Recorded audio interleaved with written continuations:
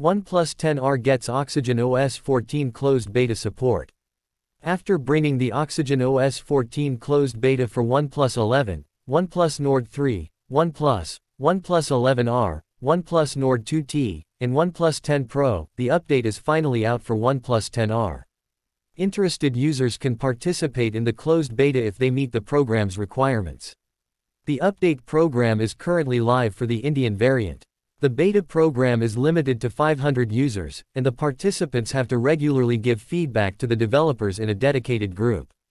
Along with the hands-on new features before others, the company will reward the users who perform excellently in the closed beta program by giving proper feedback and accomplishing other tasks. If the users confirm these requirements, then they can apply by heading to the thread. Interested peers must hurry as the program is limited to 500 users only. Also, you should keep in mind the known issues on the OnePlus 10R. Charging status are displayed on lock screen and status bar while not charging. Text recognition isn't available for album photos. Lagging issue when returning to the preview screen in Camera Pro mode. Steps to apply for OnePlus 10R Oxygen OS 14 closed beta program. The program is on a first come first serve basis, and the submission will be paused once it reaches 500 users.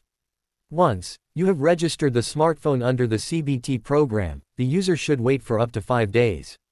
Once your application is reviewed, you may head over to go to settings greater than about device greater than tap up to date greater than tap icon on the top right greater than beta program greater than follow the steps to apply to install the update.